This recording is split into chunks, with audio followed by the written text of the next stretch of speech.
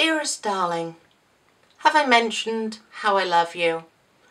How my ears perk up at the sound of your voice, how my heart skips a beat at the sound of your name, and how even now the slightest hint of your scent brings a blush to my cheeks.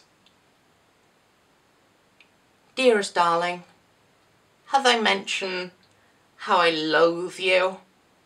How my stomach turns whenever I think of you. How the bile rises in my throat at the thought we might meet and how I feel violated whenever I recall our embraces.